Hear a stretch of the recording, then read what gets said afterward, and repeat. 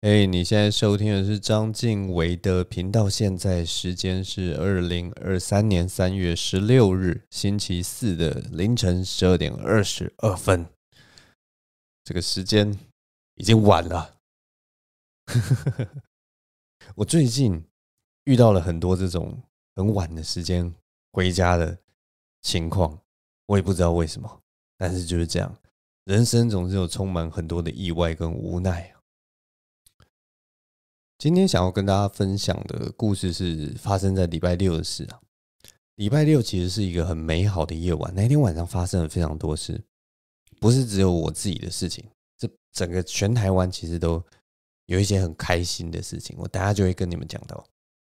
总之，我先讲从我自己发生的事情来跟你们大家讲好了。我那天晚上，礼拜六晚上要去参加一个热舞社的老人 party，我不知道大家有没有参加过社团啊？老人就是。老人的意思就是学长姐毕业以后就可以归类为老人，然后反正今年就刚好一个时机点了，然后有一群学弟妹就很热心帮老人一起办了一个 party，那老人知道说哎有 party，大家就当然就回去参加一下。简单来解释就是大家毕业以后可能会办什么同学会啊、校友会啊，或学长姐姐聚会什么的。那我们热舞社会办 party，就找大家。一群社会人士一起回来跟大家、跟年轻人一起跳舞，这样子。那那个 party 的现场，我可以跟大家，我可以跟大家形容一下。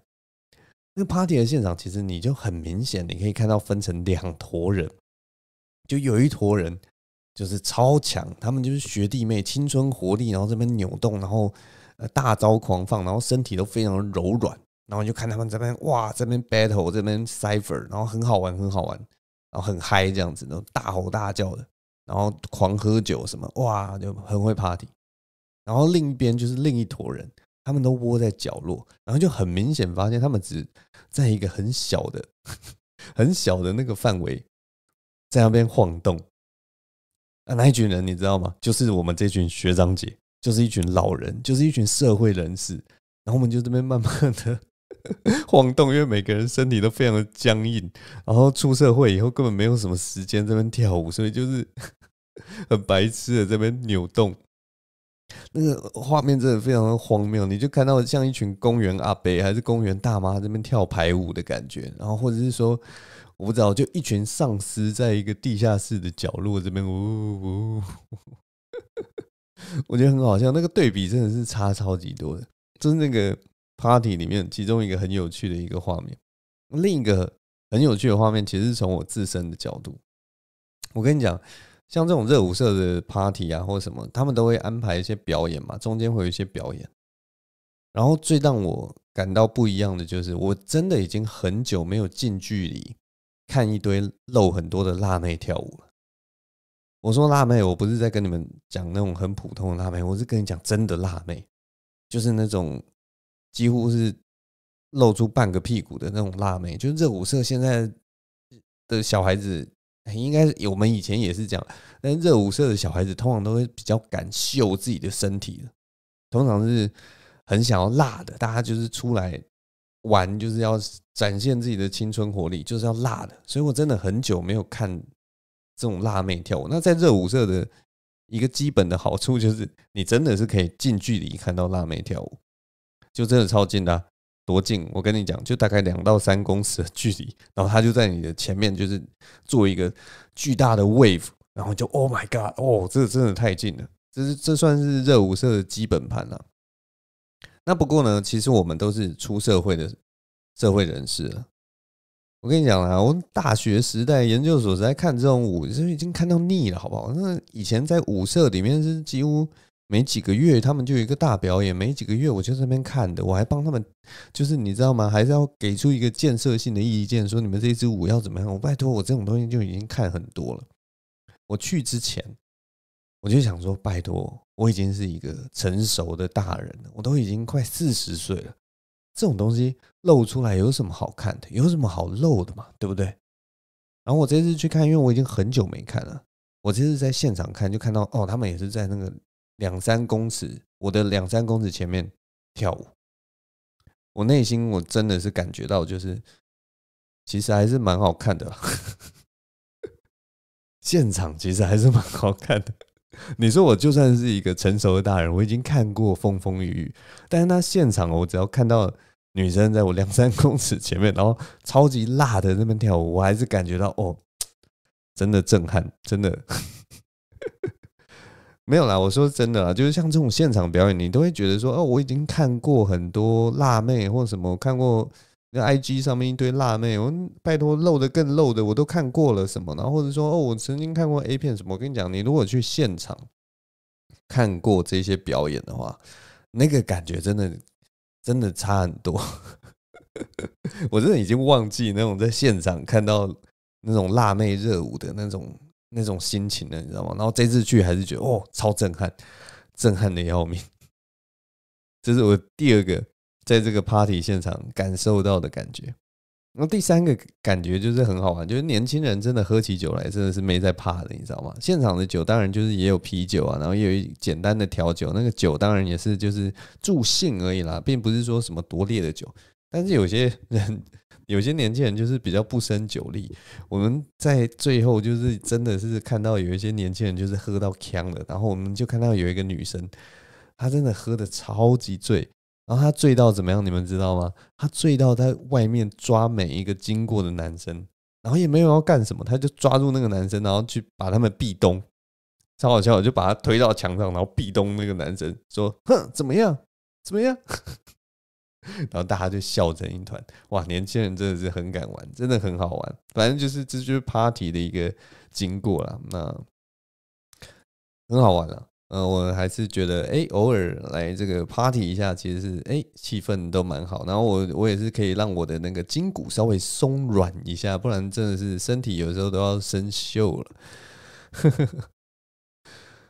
然后其实我们那天 party 还有一个重头戏，就是我们这一届的副社长要跟我们这一届的一个干部求婚。他们其实就是在我们这个热舞社里面认识。那他们认识的时候是大学大一新生嘛？那我那个时候是呃研究所时期，所以我那个时候是二十六岁。然后我就你知道吗？我那个时候是亲眼看到他们从就是认识到相处，然后交往。然后一直到现在，爱情长跑了十年，看他们这样一路走来，然后现在那个副社长要跟他求婚，哇，整个过程感人的要命。那个副社长就跟我们说，我我们是在热舞社相遇的，那我们现在就是要在热舞社求婚，哦，有始有终，哦，真的是这个话都讲出来，我们真的每个人都觉得，哦，真的是蛮感人的啦。这种有时间的一些活动，就是有那个醍醐味啊。那我们那一天当然也看到了很多，就是老人呐，很多以前的学长姐啊，大家都没什么变。那其中有一个学长也说：“ 我们遇见你的时候，你就长这样子，你怎么到现在三十几岁，快四十岁，你还是长得一样啊？”然后我就听了，就说：“你们不要再客套了，我明明就老多了。”他就说：“没有啦，你以前看起来就很老。”我就说：“靠背啊！” 大概就是这样，就是这种节奏，但是就是很好玩啦，我觉得。有些有些事情就是，例如说，有些事情就是越沉越香，你知道吗？就算你们以前有一些什么争执啊，或者有些合作上的什么啊，或者是什么，但是你时间一拉长，真的是一切不开开心都烟烟消云散，然后就只留下一些什么真挚的情感之类的。哦，虽然我现在讲起来有点肉麻，但是 真的真的就是这样子的感觉。那反正我们呃。后来 party 完大概九点多吧，我们就去吃热炒，去吃宵夜。那大家你知道，激烈运动完之后，就是一定就是大吃一一番嘛，然后喝点酒什么的。我是没有喝酒啦，因为我后来 我等下要骑车回家。那总之呢，就是大家就是吃一吃，吃一吃。我你知道，就是我们当当天在吃热炒的时候，你就会看到大概有一我们一桌十几个人嘛。然后就有一半的人都拿出手机在看，然后另一半的人就是都凑过去在看。你知道我们在看什么吗？这就是我要跟你们讲，其实那一天有另一件大事，另一个大事就是那一天是经典赛的那个中华队经典赛棒球经典赛，中华队对荷兰的那一局那一场。那如果有在看这个经典赛的人就知道，那一场其实蛮关键的，就是他是。应该是哎，那场是怎样？就是如果说我们赢了的话，我们的晋级几率会大增；然后如果输了的话，基本上就是 out。那那那一场，所以那一场算是一个很关键的比赛。而且荷兰队并不是什么大咖队，你知道吗？荷兰队那在那一年的评比里面，算是一个里面都是大大大联盟的强打者的一队，所以就非常关键，所以大家都在看，非常的紧张。然后当然看着看着看着看到后来，我们边吃边看，边吃边看，最后就是一路这样打到九局，然后我们好像是七比几啊，七比二之类的，领先超多分，哇，超级好看！我们每个人看那个比赛，哦，都很振奋，士气大振啊。然后最后打赢那个荷兰，哇，全部那个热炒店人都啊这样类似在欢呼什么的，哦，好好看，然后又吃东西，又很赞。所以那一天晚上真的是非常赞的一个夜晚，就是我看到很多老朋友有那种岁月的醍醐味，然后副社长求婚大成功，哦，超爽的，看到人家求婚成功，你知道那个气氛真的超赞。然后我那一天跳了舞，还吃了热炒，然后经典赛又赢了，心情真的是超级痛快，超级畅快，那就是一个很棒的夜晚，那就是标准一个百分之百。赞的夜晚，没有比这种夜晚更赞的事情了。这么多好事在一天之内、一个晚上之内全部发生，你知道吗？但大家知道吗？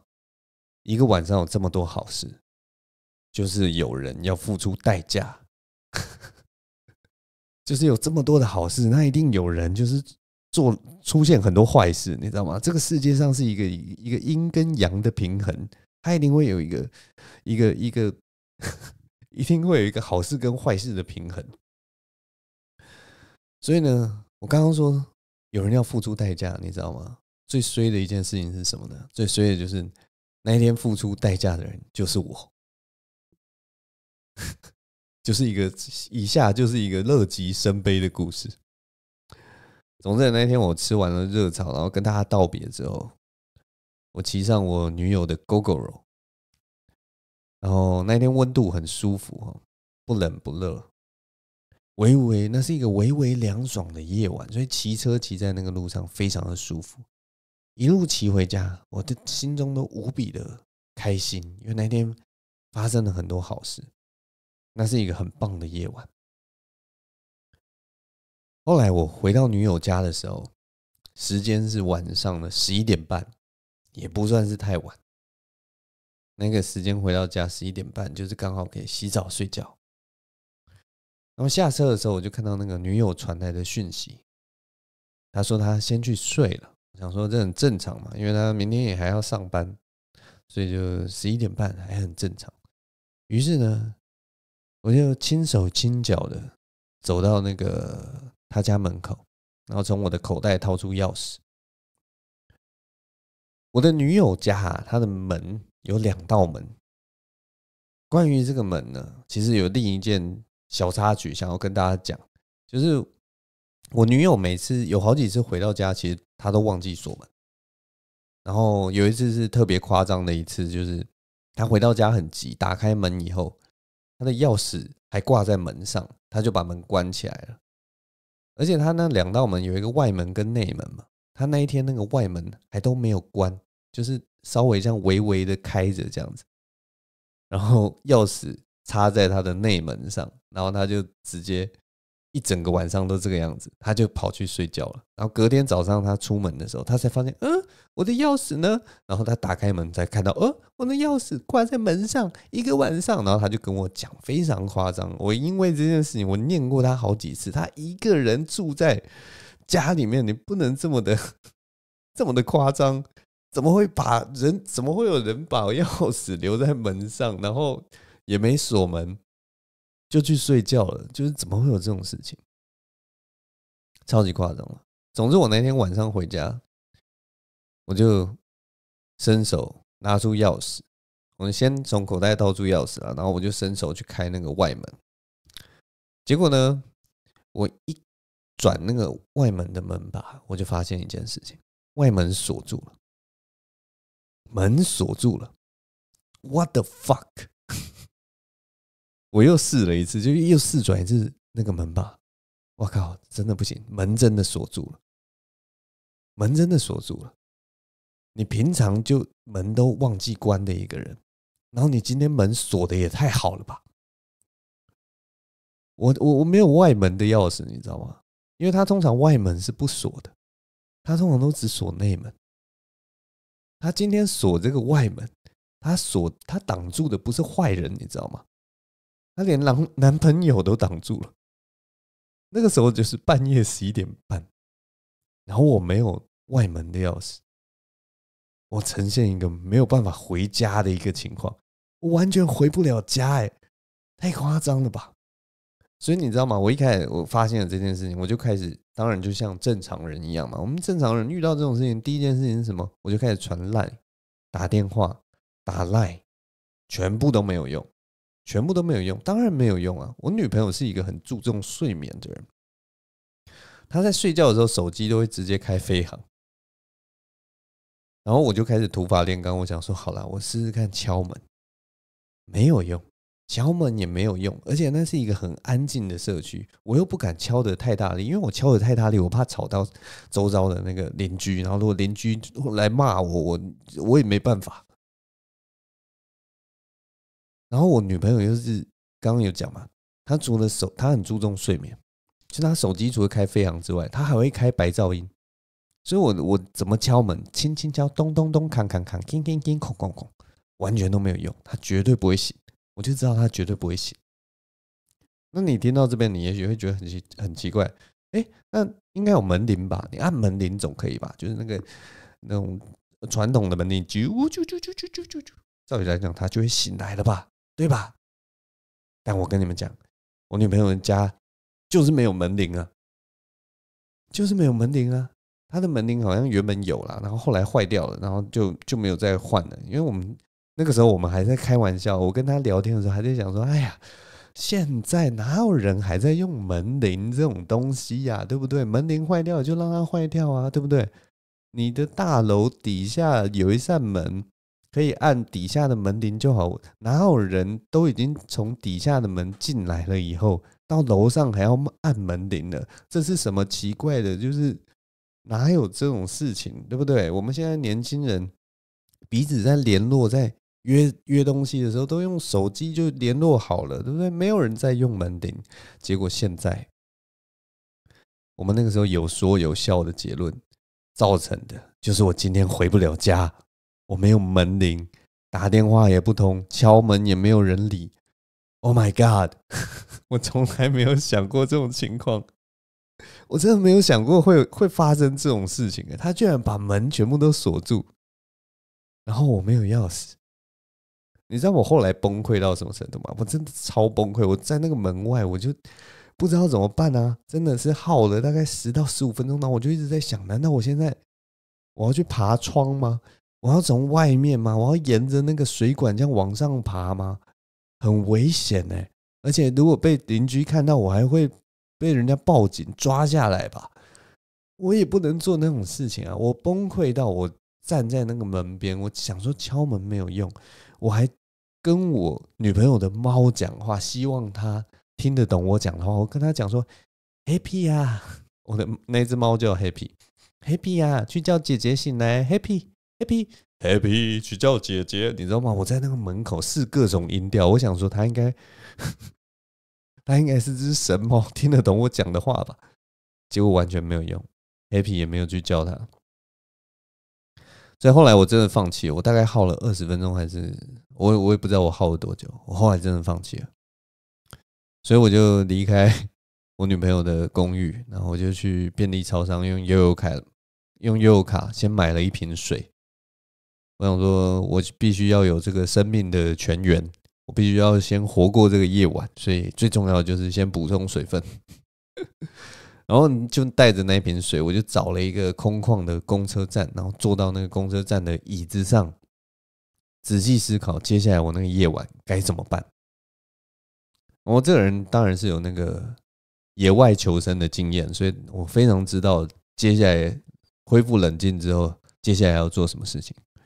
我先检查一下身上所有的装备，所有的 一切，然后判断一下现在的环境。我身上有信用卡和悠游卡联名卡，所以就是我现在身上有信用卡跟悠游卡没问题。然后我的手机电量剩五十三趴，然后我身上有带着身份证跟健保卡，还有女朋友机车的钥匙，就这样。为什么我身上的东西这么少？因为我出门的时候想说我要去 party，我把我所有的家当，我所有的。各种东西全部都留在我女朋友家里，我连皮包都直接丢在我女朋友家里，想说我有带身份证跟健保卡去 party 应该就够了吧？如果警察来临检，我也有身份证，没问题，应该就这样就够了吧？所以我有的东西非常的稀少，但还好那一天并不会到太冷，所以我那天晚上不会冷死。所以我现在好，我现在身上的东西就是有钱，我有身份，我还有交通方式，我有一台机车。那我有什么什么选择？我接下来有什么选择？我想一想，我就想说，我其实有四个选择。我那天晚上有四个选择。我第一个选择就是我可以回老家。我我我我基本上还是一个台北人，所以我还是可以回父母亲的家。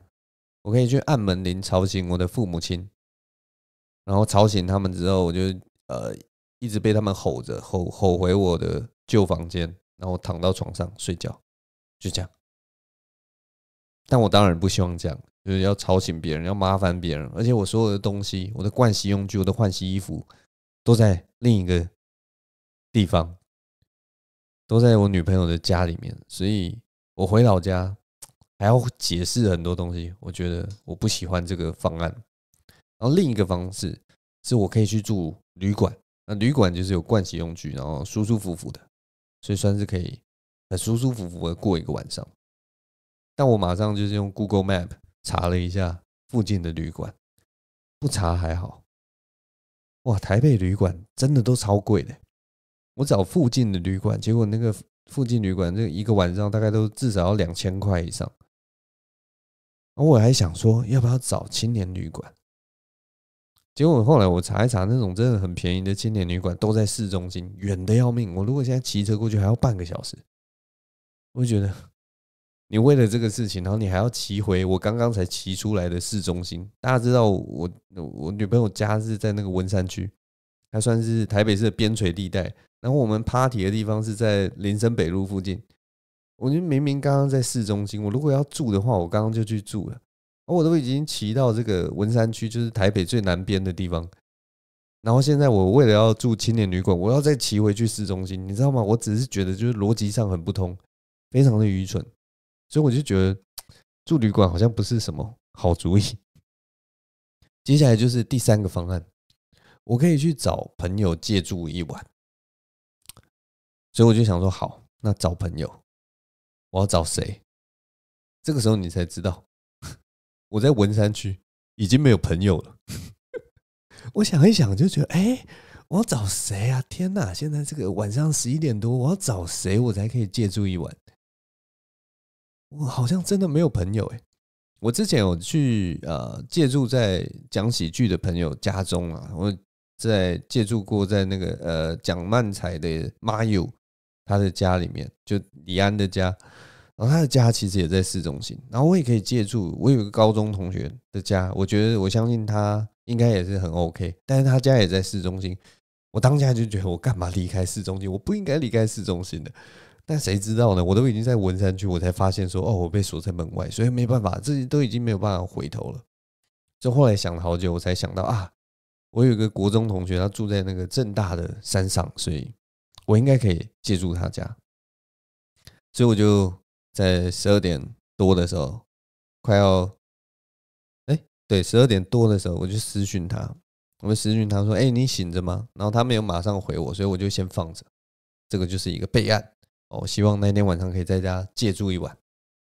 然后还有第四个方案，第一个第四个方案 就是我可以在街上撑到四点。然后照我照我自己知道，就是四点的时候，我女朋友傲娇的猫通常会。叫我女友起来，他会直接踏醒我，扑到我女友身上，然后踏醒我女友，然后叫她喂东西吃。我可以等到那个时候，然后我，你知道吗？我幻想中的那个想法就是说，猫把我女朋友叫醒之后，我女朋友就会哎奇怪，我男朋友怎么还没回来？然后她就会去看她的手机，然后就发现哦，原来我把门锁着，然后我就在这个公车站，我就在这个空荡荡的公车站等到晚上四点，我应该就可以回家了。这就是我四个四个方案。那当下我已经算做完了，我已经传讯息给我国中同学了，然后我接下来也只能就是，要么就是等他回我，要么就是等我女朋友醒来，你知道吗？这就是我那个时候很白痴的一些方案。但我也无能为力，我没有办法，其他方案都不是那么的好。所以，总之，我坐在那个公车站那边，我就开始东想西想，你知道吗？我现在也没有办法了，我没有事情，其他事情可以做。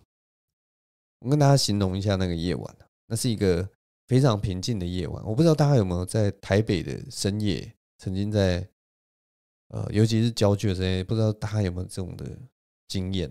那那个时候路上已经没有多少的汽车。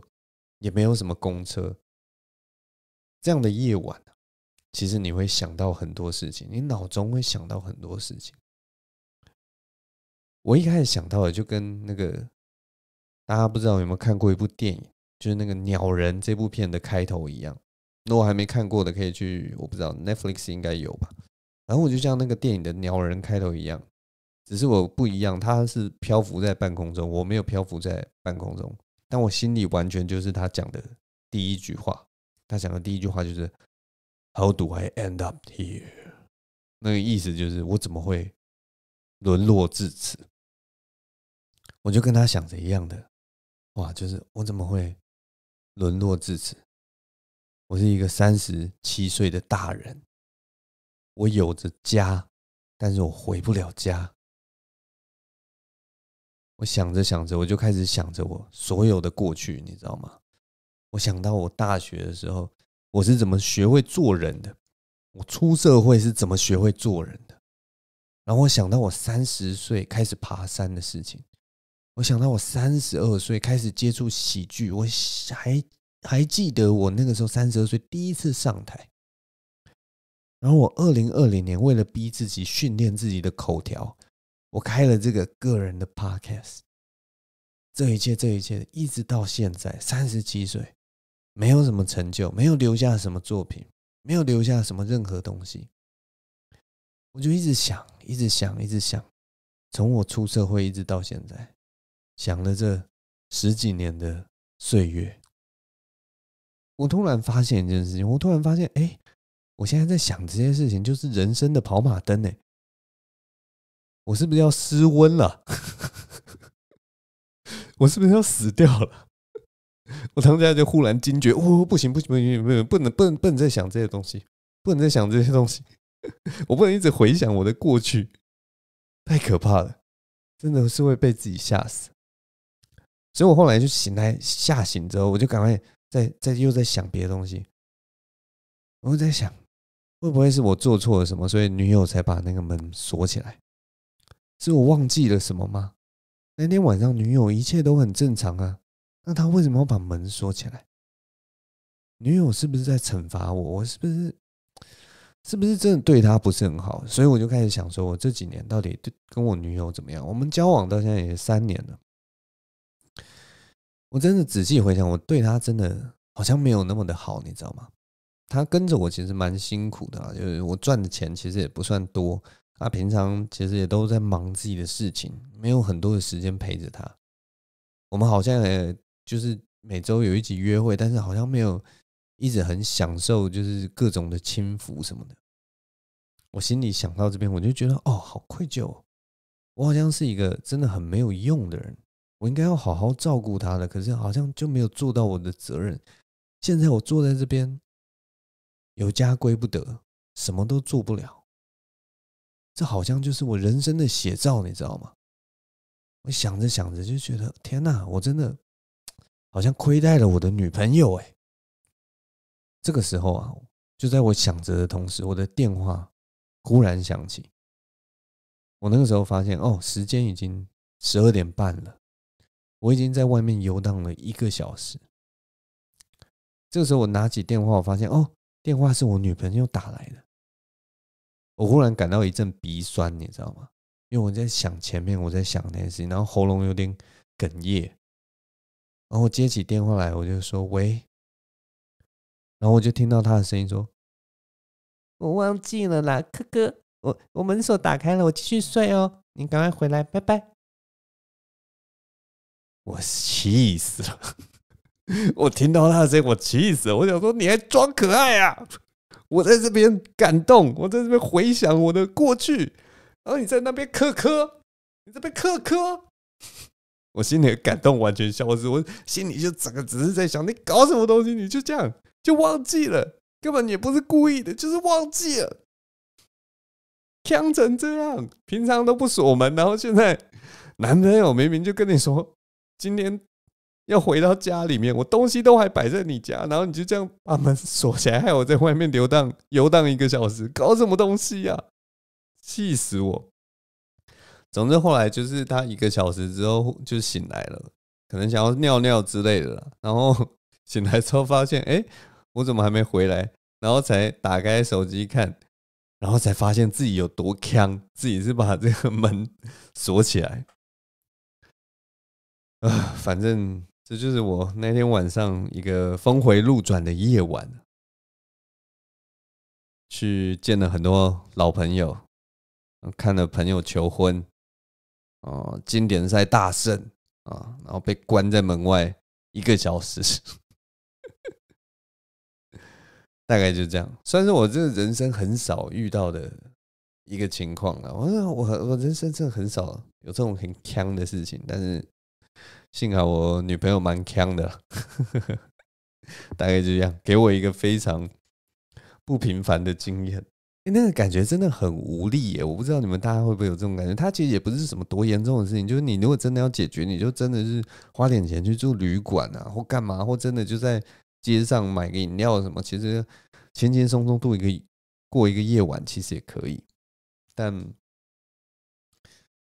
但不知道那天就是很妙了，很妙。我觉得我这人生很少遇到那种不知道该怎么解决的事情，这算其中一个。我其实就真的坐在公车站的那个躺椅上面，然后慢慢享受那个 平静的夜晚，很妙啊！好了，时间也晚了，我们今天趴开始就录到这边。我也不知道自己，因为真的太晚了，所以其实我也不知道自己讲的怎么样，但大概就是这样了。谢谢大家收听了，我们今天就录到这边了。我是张敬伟，我们下周同一时间再见喽，拜拜。